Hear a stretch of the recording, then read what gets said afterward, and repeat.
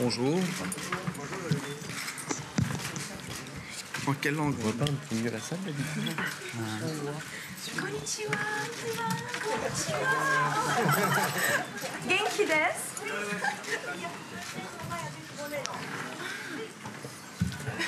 C'est vrai, c'est quand il y a de la presse japonaise. Connais du Japon. Elle m'a offert un coussin au Japon. Ah, c'est pour toi, Léa. C'est coussin belge. Merci, ça va. On va la chanter. J'apprécie.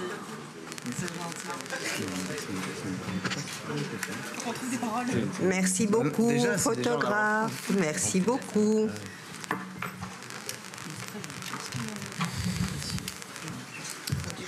Et bienvenue à la conférence de presse de Saint-Laurent de Bertrand Bonello. Alors je vais vous présenter cette longue et belle table en partant de tout au bout, tout au bout. Les producteurs, Nicolas Altmaier et Eric Altmaier. Oui, oui, ils sont frères. à côté, d'eux, à côté d'eux, pour ses débuts au cinéma, dans un rôle qu'elle connaît bien, mannequin vedette, Emeline Valade.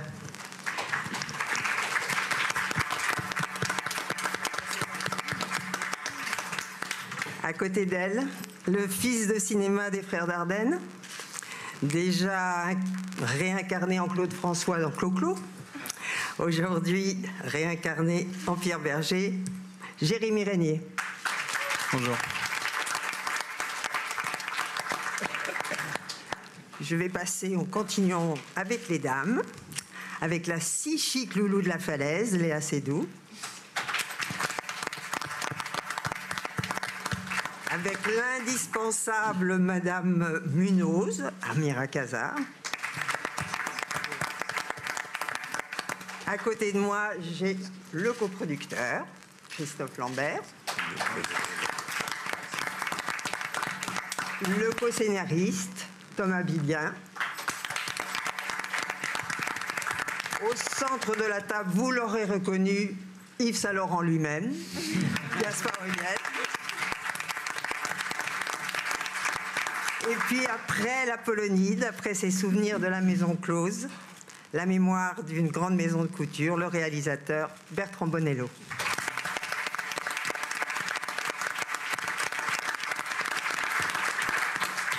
À qui je vais poser la première question que forcément vous lui auriez posée aussi.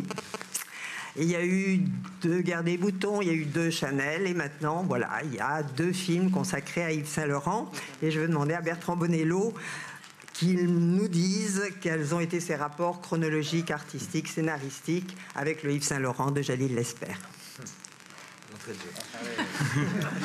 Comme ça, ce sera fait. Voilà. Comme ça, comme ça, ce sera fait. Vous avez raison, Daniel. Euh, bon, je ne ferai aucune comparaison parce que je n'ai pas vu l'autre film.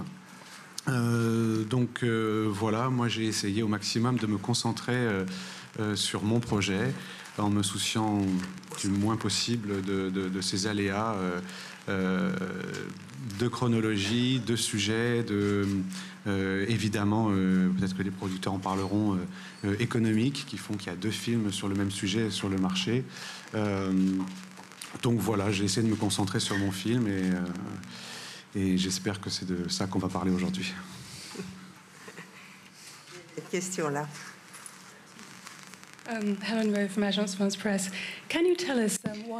Pourquoi avez-vous décidé de, vous, de mettre l'accent sur le côté euh, noir d'Yves Saint-Laurent, le côté sombre?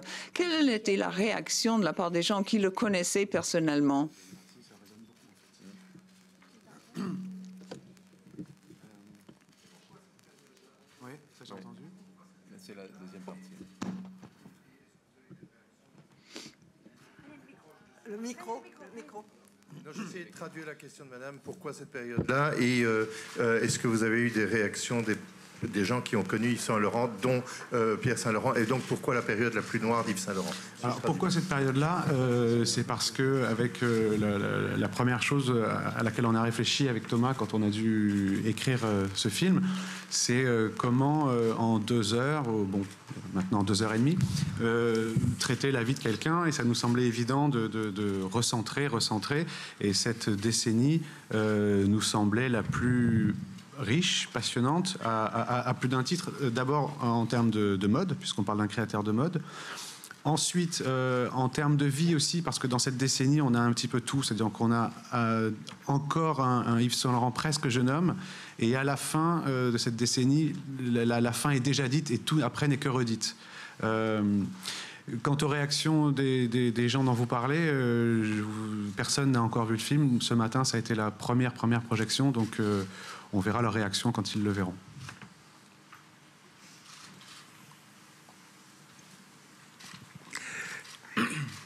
Euh, bonjour Monsieur Jacques de Bonneau, Radio Notre-Dame. D'abord, il faut que je vous dise merci pour ce film très important, très puissant, une distribution homogène, très, très heureuse, et surtout merci, merci d'avoir fait participer Madame Dominique Sanda, Helmut Berger. Euh, ce que j'ai à vous dire, parce que j'ai eu le bonheur d'interviewer il y a quelques années Yves Saint-Laurent, comment vous avez pu travailler ce film qui est à la fois euh, le film et puis une partie documentaire? Euh, Je vais juste citer, parce que j'ai bien aimé la, la, réaction d'un de nos coproducteurs qui est, le, euh, qui est Olivier Père chez Arte. Quand il a vu le film en, projection de travail, il a dit c'est un film qui va du documentaire à l'opéra. Et j'ai trouvé ça une formule euh, très juste et très belle, en tout cas qui me, qui me plaisait beaucoup.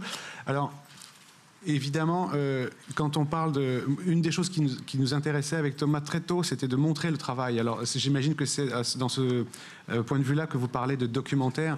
Et c'est vrai qu'on a euh, fait travailler des, couturières pour fabriquer les costumes du film et que ce sont ces couturières-là qui jouent dans le film et qu'on a filmé parce que ça me semblait... On parle de haute couture, donc on parle vraiment d'artisanat et ça me semblait vraiment intéressant et émouvant de pouvoir filmer ce travail, ces mains, cette espèce de rigueur, cette hiérarchie, euh, qui donne en effet un, aspect peut-être un peu document, en tout cas, euh, au film, et, qui après dérive petit à petit vers, vers, vers vraiment vers de la fiction et, vers, j'espère, du, cinéma.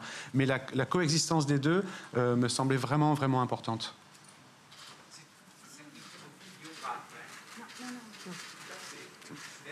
Merci. Euh, bonjour, Thomas Adamson de AP, l'agence américaine.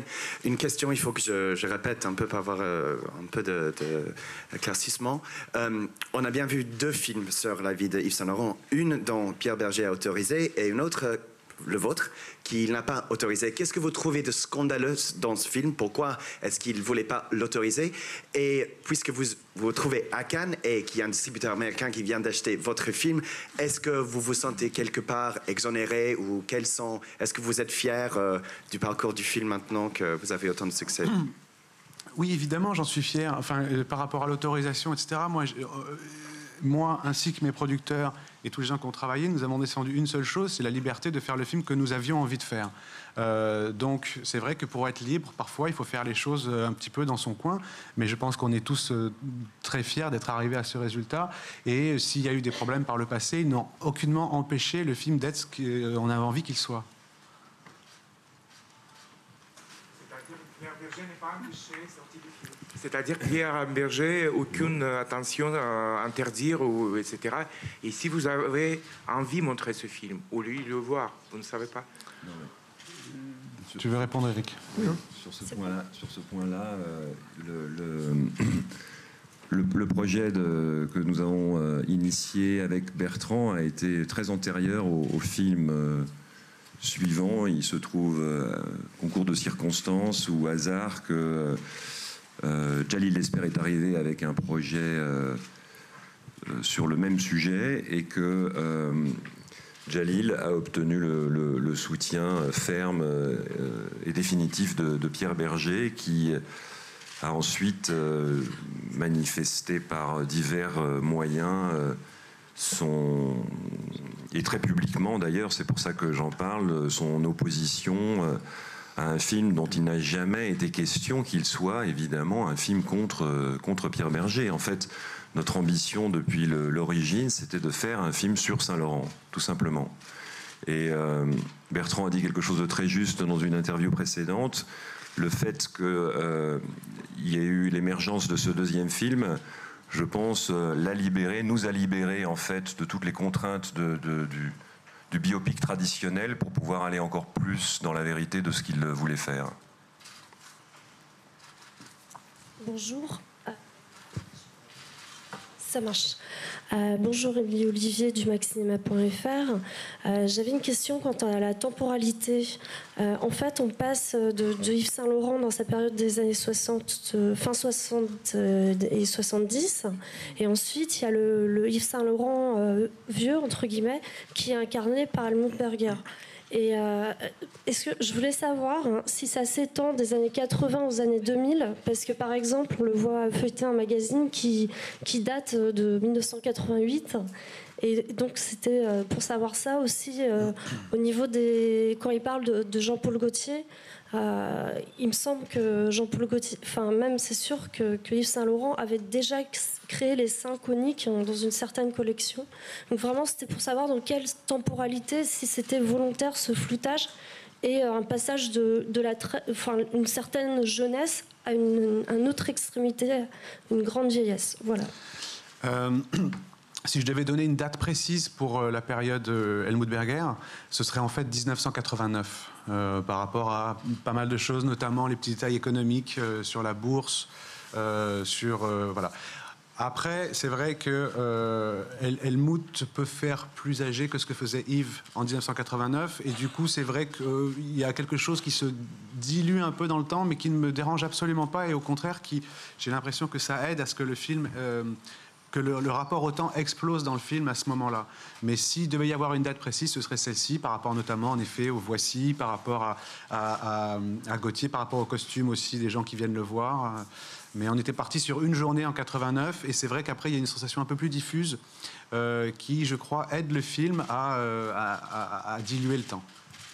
Moi, je voudrais poser une question aux comédiens et savoir comment ils se sont incarnés, comment ils ont abordé ce personnage, ces personnages. Petit problème de micro, voilà, ça va mieux.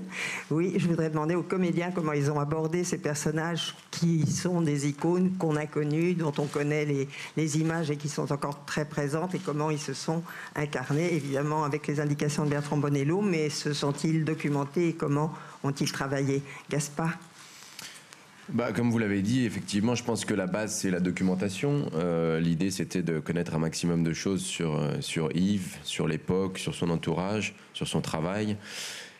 Et ensuite, justement, d'oublier tout ça, de le digérer et de s'en éloigner le plus possible pour retrouver une vraie liberté. Je pense qu'après, l'idée, c'est de, de dépasser les limites, de repousser les limites et d'essayer de, de transcender quelque chose, justement, en s'en inspirant et en se l'appropriant totalement et voilà, l'idée, c'était pas de devenir Yves Saint Laurent, mais, mais de le rendre vrai, le rendre juste. Et, euh, et avec Bertrand, c'était très clair dès le départ. Je pense que Bertrand, voilà, Bertrand m'avait dit, moi, ce qui m'intéresse, c'est aussi de te filmer toi, de filmer Gaspard. Et, et, et, voilà, il y avait une part de moi aussi dans Yves, et, de pas pousser à un, à un simple mimétisme ou imitation. C'était vraiment le, danger à, éviter le piège dans lequel ne, pas tomber. Après, je dirais dans la direction de Bertrand, c'est assez difficile d'en parler. Déjà, le mot direction, je trouve, s'applique pas forcément au travail qu'on a eu, qui est plus pour moi un accompagnement. C'est comme si on s'était pris la main tous les deux pour se lancer dans cette aventure.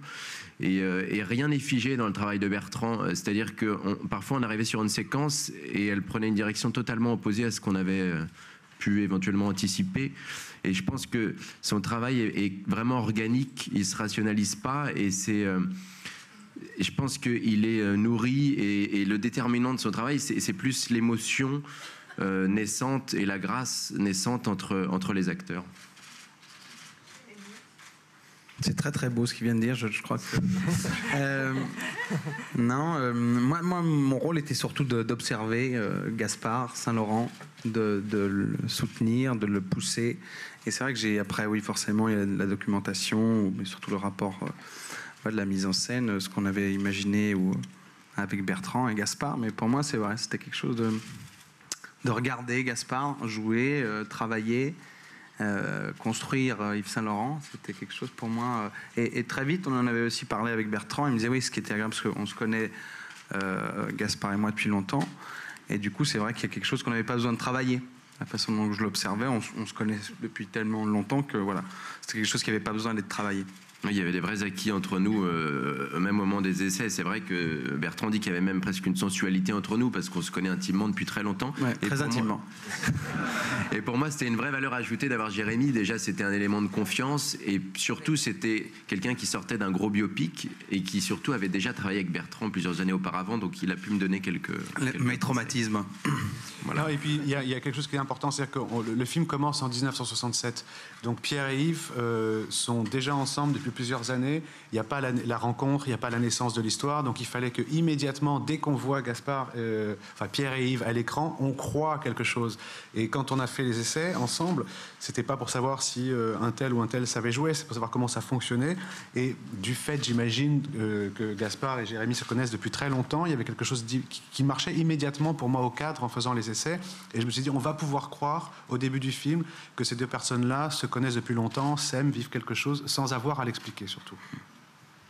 Alors, Amira et, et Léa, vous aviez moins de documentation euh, pour vos personnages. Comment vous les avez abordés, Amira? Oh, il y en a. Je trouve que Madame Munoz, c'est quelqu'un qui a travaillé dans une rigueur, dans... c'est un regard de bienveillance et de rigueur et l'amour absolu du détail et du travail bien fait. Donc c'est un très très grand artisan, je crois. Et c'est émouvant, ces, ces femmes-là, parce qu'elle a été le regard, la compagnon et l'amie de Saint-Laurent depuis Dior. Donc ils se sont connus gamins, ils se sont dit on va plus jamais se quitter. Ils se sont dit ces mots-là. Ils se sont reconnus quand ils étaient tout, tout petits, tout petits. Et c'est ça qui est beau. Et puis bah, la- le regard de Bertrand, je trouve qu'il travaille comme un peintre, nous, nous aide euh, beaucoup parce que c'est voilà, c'est on nuance les choses avec un peintre, un artiste pareil. Voilà. Donc, euh, et puis après on se regarde vivre. Voilà. On se laisse vivre. C'est bien. Léa Euh, et moi, je, hum, c'était, euh, moi, c'est une petite touche comme ça, une petite touche de couleur. Élégante. donc, euh, je- voilà, c'était un personnage. Il fallait, il fallait que ce soit un personnage léger. Et j'avais pas, du, enfin, je- j'avais pas spécialement envie de faire une imitation de Loulou de la falaise. Mais euh, voilà, c'est, elle entoure Saint-Laurent et elle ne fait que le, l'aider à, à déployer euh, son talent. Et Emeline, pour votre entrée dans le grand bain Bah, ce qui n'a pas été évident pour moi, c'est que Betty est très discrète. En fait, on l'a. Je pense qu'on n'a pas forcément plus de visuel, en effet, que Amira, par exemple. Euh, mais je me suis concentrée sur le côté archétype de la femme moderne, et je me suis dit, euh, dans la continuité de de ce que moi, ma situation en tant que femme aujourd'hui, ce qu'elle a pu être, essayer de trouver les liens, les croisemement, et, et de le développer à partir de là. Je peux juste dire un truc sur le texte. Mais Quand le texte- sûrement. Quand le texte est si beau, eh ben, l'acteur a presque. Ben, voilà, il, est- il, est- il peut s'incliner devant les mots. Et vraiment, le, le texte était vrai. tellement beau pour nous que. Voilà, je trouve que c'est un grand, grand support. Merci. Merci. Euh, bonjour, Hugues Daillère, TVF, Télévision Belge. Euh, c'est une question. Bonjour, Jérémy. bonjour, Jérémy. Euh, c'est une question pour Bertrand Bonello, mais aussi pour les acteurs. pour moi Si, si, si. Je reviendrai pas au pays. Mais tu sais, on a droit qu'à une question. hein, donc, vous avez parlé tout à l'heure de filmer le travail, Bertrand Bonello, avec les, effectivement les, le côté artisanal, l'atelier. Et paradoxalement, on voit quand même relativement peu Yves Saint-Laurent au travail. On le voit tomber amoureux de Jacques de Bachère, on le voit euh, se perdre. euh, vous insistez beaucoup plus, bien sûr, on, voit les défilés, mais vous insistez beaucoup plus dans son, son éloignement et sa solitude que dans son travail collectif à l'atelier. Est-ce que ça, ça a été euh, euh, très très vite un postulat? Et alors une question pour les acteurs, comme ça je fais la totale. Euh, moi, forcément, contrairement à vous, je suis critique de cinéma, donc j'ai vu l'autre film.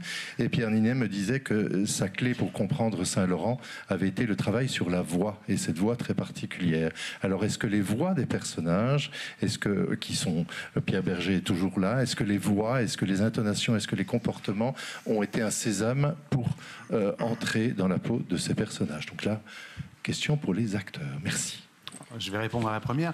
Euh, vous, euh, vous dites qu'on ne voit pas Yves travailler, mais on le voit dessiner. On le voit beaucoup dessiner quand même. ce qui est quand même la base, la base de son travail. après, les dessins partent à l'atelier et puis il y a un relais qui se fait. Et la première fois qu'on voit Yves en 1967, il est en train de toucher la toile, etc. etc. Bon, donc j'ai préféré faire une vraie longue séquence d'atelier euh, plutôt que plein de petites scénettes où il repasserait après la boîte de nuit, etc. Donc pour moi, je ne suis pas tout à fait d'accord avec vous. Je pense qu'on le voit face à la, création et surtout, surtout euh, dans le rapport au dessin, qui était vraiment son, la, la, base pour lui. Je laisse les comédiens répondre à la suite. Et euh, oui, moi je trouve que ce qui est intéressant justement dans le travail, par rapport à son rapport au travail, c'est que moi ce qui m'a séduit dans ce film, c'est que à un moment, on dépasse le biopic. Je dirais même que c'est tout sauf un biopic. C'est plus justement une odyssée dans la tête d'un créateur. Et c'est un vrai film sur le processus créatif. Et à mon sens, on n'a jamais rendu aussi bien la vie d'un artiste et justement tout ce processus créatif. Et je trouve que ça, c'est quelque chose d'assez magique dans, ce scénario. Euh, après, par rapport à la voix, moi, c'est marrant parce que ça a été peut-être un des, derniers éléments qui... Euh, qui s'est installé dans, mon interprétation. C'était effectivement un élément important puisque je savais qu'il allait forcément avoir des, comparaisons et avec la vraie voix d'Yves et avec ce qu'allait faire Pierre Ninet. Et, à, ce moment-là, je, ne savais pas du tout ce que lui allait faire, s'il allait changer sa voix ou pas. Et je me suis posé beaucoup de questions et je dirais que euh, je, je, suis quasiment arrivé le premier jour sur le tournage sans vraiment encore savoir ce que j'allais faire avec la voix. Et en fait, je me suis laissé euh, guider par mon instinct et, et c'est venu assez naturellement. Alors peut-être que les deux premiers jours de tournage, c'était encore un petit peu euh, hésitant, et puis très vite, c'est venu de façon assez naturelle. On n'en a presque pas discuté avec Bertrand. Il m'a repris deux, trois fois, c'est-à-dire qu'il voulait pas. C'était quoi ce que tu me disais Toujours la, même chose que. Non, que la voix de Yves, en effet, a une sorte de fragilité, qu'il fallait pas que la fragilité se transforme en, faiblesse ou en vieillissement, mais que, ça reste juste de la fragilité. Voilà. Mais pour moi, ça n'a pas du tout été le point de départ. Moi aussi, moi c'est totalement l'inverse, ça a été le point de départ. Euh, je, n'écoute que la voix. Euh, non, c'est moi, c'est vrai que c'est un travail qui m'intéresse, la transformation, le, d'aller vers euh, la, voix d'un personnage, ça m'aide à, comprendre aussi le personnage. Et c'est vrai que Yves, peut-être te souviens-tu de cet après-midi?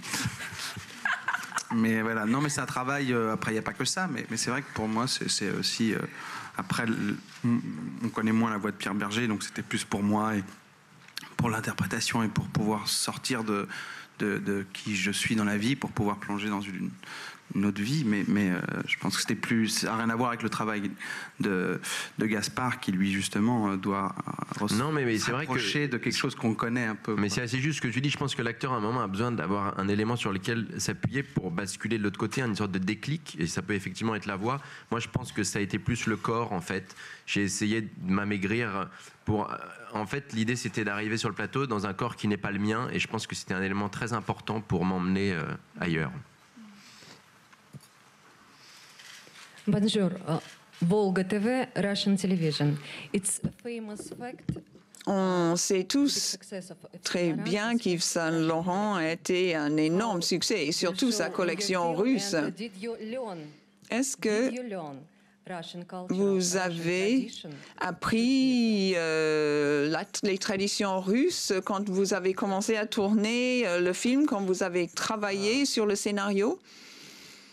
Moi, je, crois que l'influence euh, russe de la collection vient de l'influence euh, euh, de peintres, enfin, qu'a eu la, culture russe et orientale d'une manière générale. On l'appelle ça la collection russe, mais ça va chercher un petit peu plus largement sur certains peintres. Et j'ai l'impression que Yves est passé d'abord par la peinture, elle-même influencée par des cultures orientales, pour arriver à cette collection. Alors, je connaissais un peu les peintres dont il s'était inspiré, oui.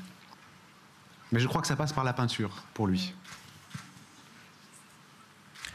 Roberto Schinardi, gay.it, merci de votre cadeau, c'est-à-dire le meilleur vêtement que vous pouvez nous donner de Yves Saint Laurent, c'est-à-dire son âme mis à nu. Et je voudrais remercier surtout Monsieur Bonello pour sa mise en scène très sophistiquée, très ravissante. Je voulais demander à Monsieur Ouliel si c'était gênant pour vous être si à nu physiquement et moralement, et surtout euh, dans les scènes des baisers plus explicites et euh, à rapport de l'homosexualité de Yves Laurent, si ça a rapproché en votre monde intérieur. Merci beaucoup. Euh, non, je dirais que je dirais qu'un acteur découvre ses limites à chaque nouvelle expérience, à chaque nouveau tournage, et, et essaye peut-être de les repousser, en tout cas quand ça vaut le coup. je dirais que oui, je me suis senti à nu, mais pas forcément de manière physique. C'était plus d'autres éléments qui étaient plus déroutants dans ce côté un peu sombre, dépressif.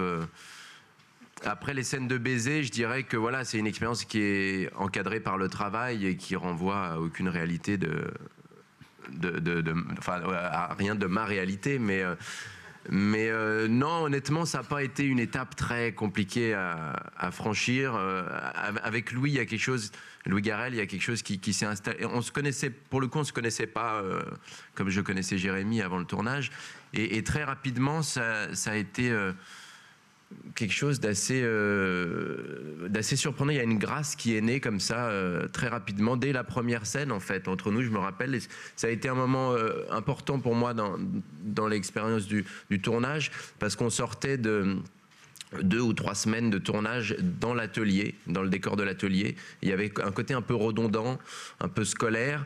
Et c'est dans les scènes avec De Bacher qu'on a vraiment vu euh, le, film prendre une autre dimension et se déployer. Euh, et, Bertrand en parle très bien de justement cette grâce qui s'est installée entre Debacher et Yves et, qui du coup a, même changé le, euh, certaines scènes, la, durée de certaines scènes et, même la direction de, certaines séquences. Le baiser, c'est quelque chose par exemple qui n'était pas dans le scénario. C'est la seule scène qui n'était pas dans le scénario. Hmm. Peut-être, oui. Bonjour, euh, c'est Bruno Ghetti de Brésil Post. Je, voudrais savoir un peu plus sur, la participation de Helmut Berger dans le film. Pourquoi vous l'avez choisi et comment s'est passé le, le tournage avec lui? Le pourquoi, c'est une. Je ne sais même pas pourquoi. C'est-à-dire que c'est quand on a commencé le traitement avec euh, Thomas, euh, qu'on a très, très vite dessiné en trois parties, etc immédiatement, on s'est dit que la troisième partie, euh, il devait y avoir un nouvel acteur qui arrive, et le nom d'Helmut est arrivé, mais immédiatement. mais je vais te laisser. Euh, Yves, quand il était plus âgé, passait beaucoup de temps à regarder des films et tout le temps les mêmes. Et il regardait les damnés en, boucle, en VHS. Euh, il était dans son lit, il regardait. Et donc, je pense que ça vient de là. Et on a eu cette idée de, de, penser à Helmut. Mais c'est une idée moi, c'est passé par les damnés, en, tout cas. C'est pas, pas, pas tellement une idée de casting, c'est vraiment une idée de scénario. C'est quelque chose qui est arrivé extrêmement tôt. L'idée que euh, la voix reste la même, mais le corps change totalement. Euh, et il nous est apparu évident qu'il n'y avait qu'une seule personne pour, pour faire ça, comme ça, pour représenter ça, pour montrer ça, euh, sans trop d'artifice. C'était Helmut euh, Berger. après, à la question comment s'est passé le tournage, le tournage, très bien. L'avant-tournage, plus difficile. Mais je pense que quand il est arrivé sur le plateau et qu'il a vu qu'il euh, y avait une caméra du 35 mm, euh, des, beaucoup d'éclairage, que c'était très sophistiqué, euh, est-ce que ça lui a rappelé des souvenirs, etc. Mais tout d'un coup, il est vraiment rentré dans le, dans le film immédiatement. Si je puis me permettre, Yves Saint-Laurent, dans les années 90, ressemblait exactement à Helmut Berger. C'est pas seulement une idée géniale scénaristique, c'est une idée qui se rapproche de la réalité.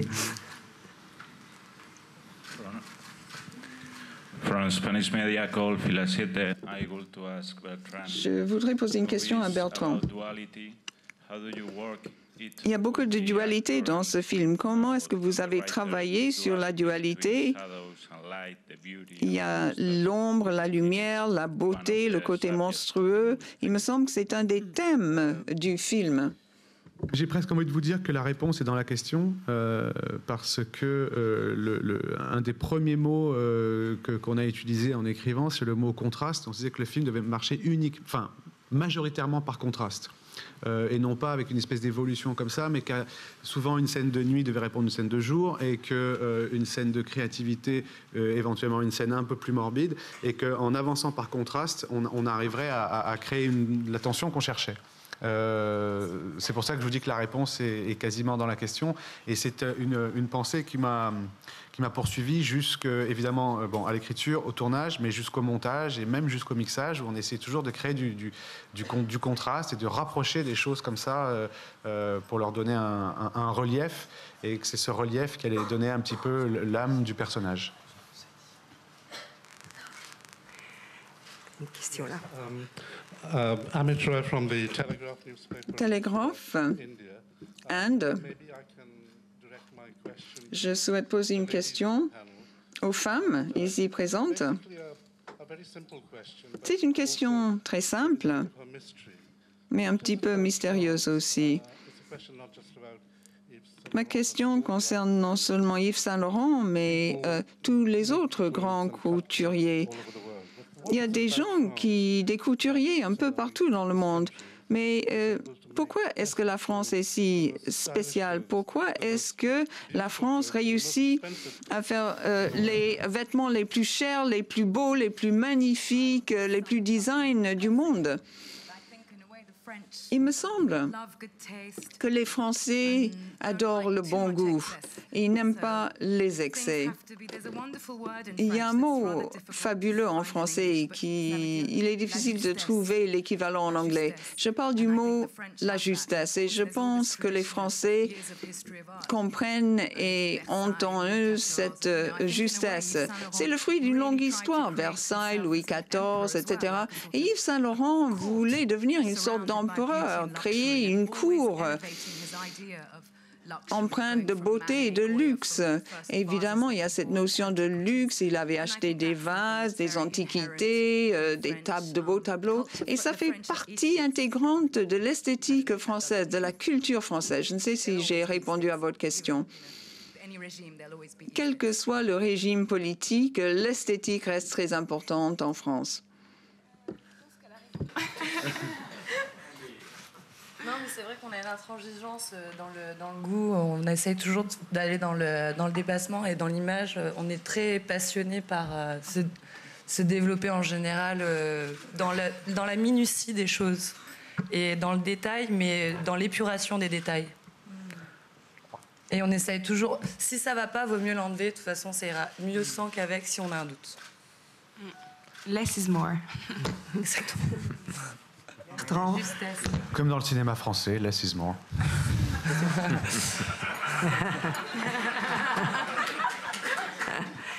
Bertrand, la beauté des femmes et la beauté des robes, c'est aussi la beauté de l'image. Et vous avez tourné en, 35 mm. Je voudrais que vous nous disiez pourquoi. Euh, oui, c'est quelque chose auquel je, tenais absolument. Alors, je, non pas par euh, euh, dans le sens où le 35 serait euh, bien, le digital ne le serait pas. Ce sont juste des textures très très différentes. Et je crois que tant qu'on a du 35, c'est-à-dire qu'on a encore le, choix, et tant qu'on a le choix, c'est bien.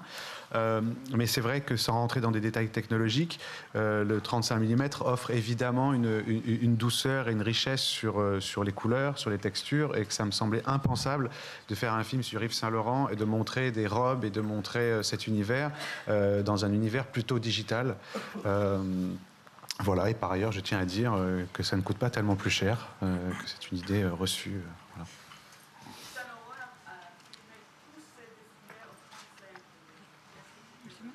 Ah Vous voyez. Pardon?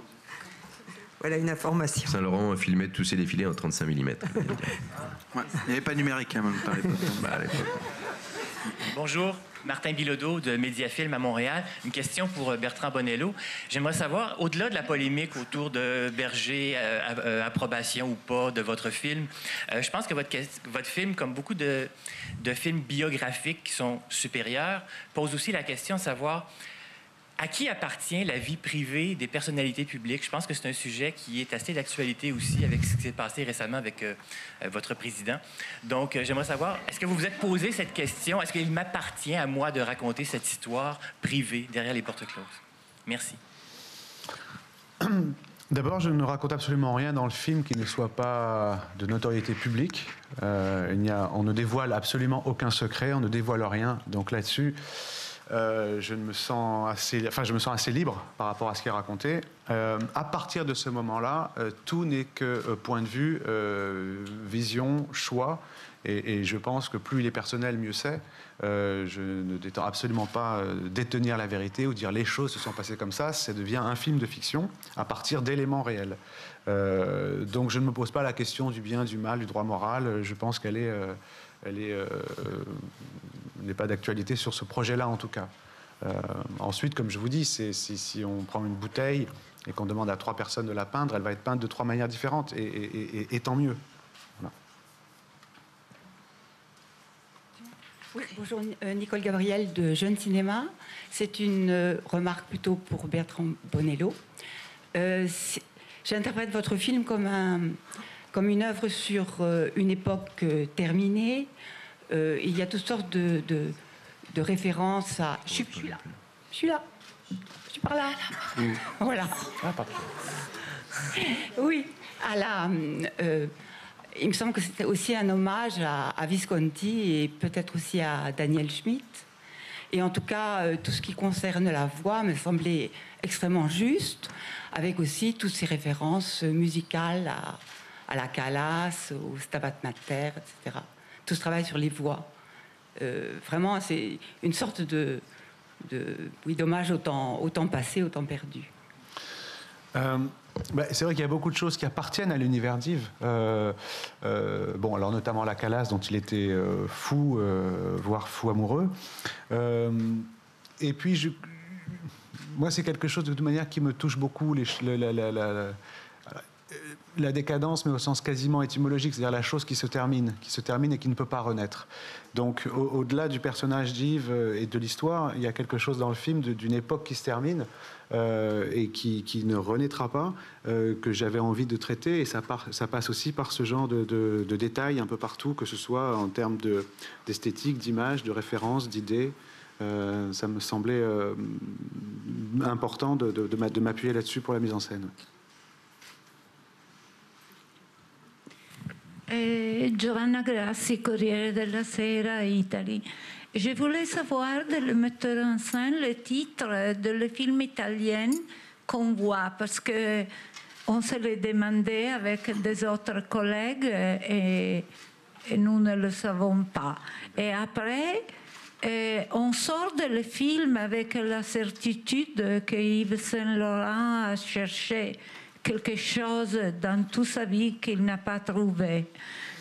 Dans votre opinion, qu'est-ce qu'il cherchait vraiment? Bah, Pour répondre à la première question, je pense que vous parlez du film de Visconti, Les damnés. Non, il y a un autre film italien. Ah, c'est un film de, un film de Ophuls qui s'appelle Madame 2. Euh, et pour la seconde, moi, vous savez, j'ai l'impression que tous les gens qui créent euh, ne sont que des insatisfaits. Donc on, cherche toujours quelque chose qu'on ne trouve pas et c'est pour ça qu'on continue. Euh, qu'est-ce que lui cherchait?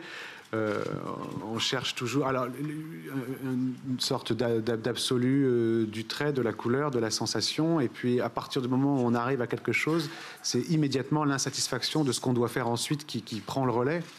Euh, sinon, on s'arrête. Est-ce qu'il ne voulait pas être aussi Matisse? Et il y a aussi, en effet, alors dans son cas précis, euh, comme dans le cas de Gainsbourg, ce sont des deux personnes qui ont utilisé le, terme d'art mineur pour la mode, pour la chanson, par rapport aux arts majeurs qu'il respectait, aux artistes majeurs qu'il respectait. Euh, et dans les deux cas, c'était plutôt de, dans la peinture, en effet.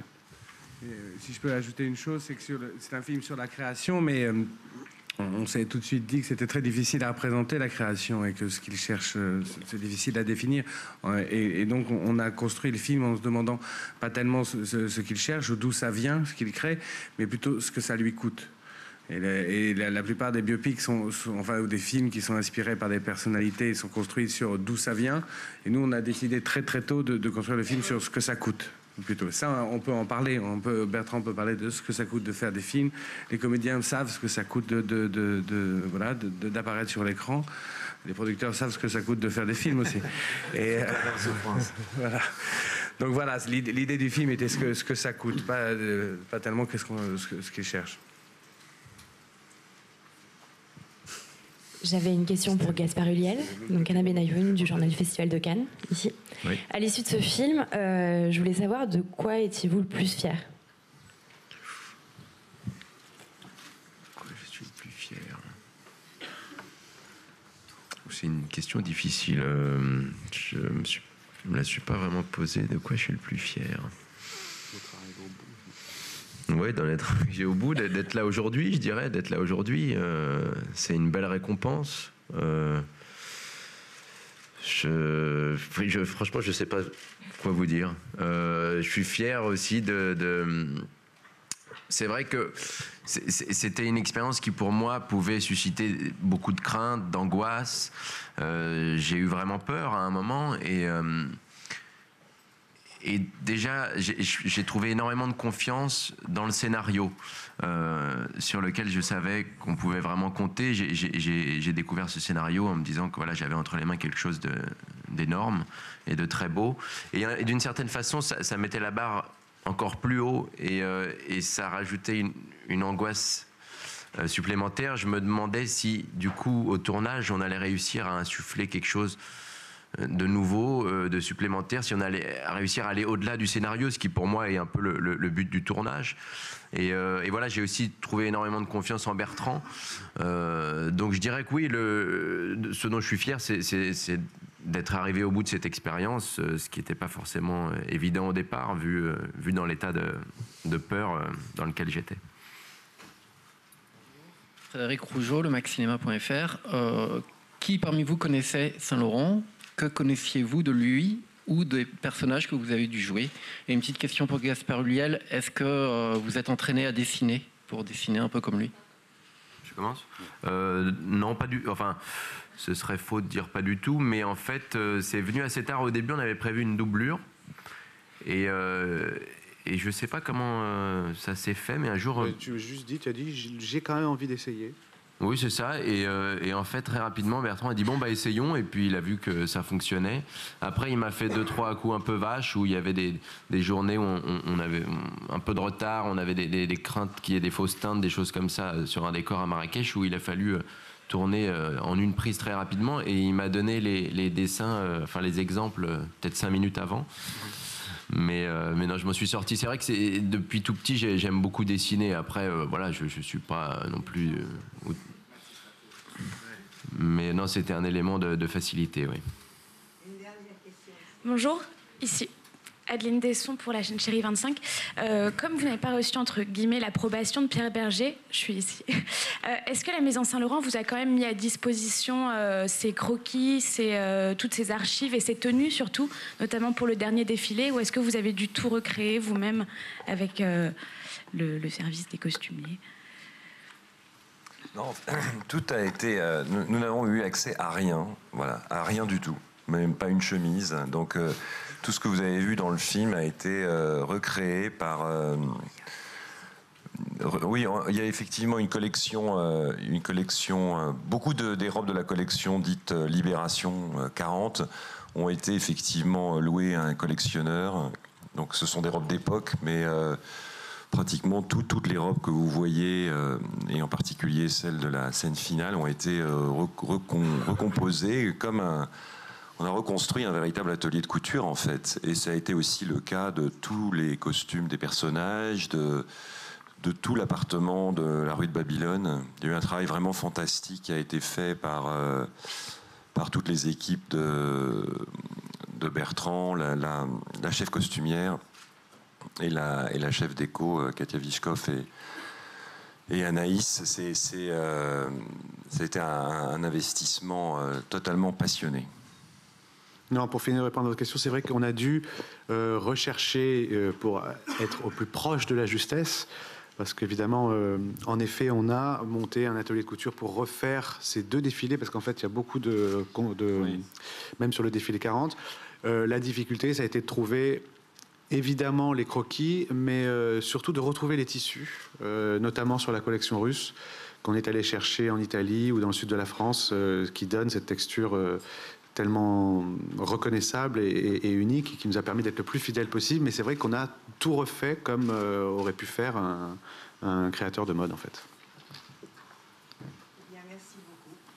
Merci. Merci.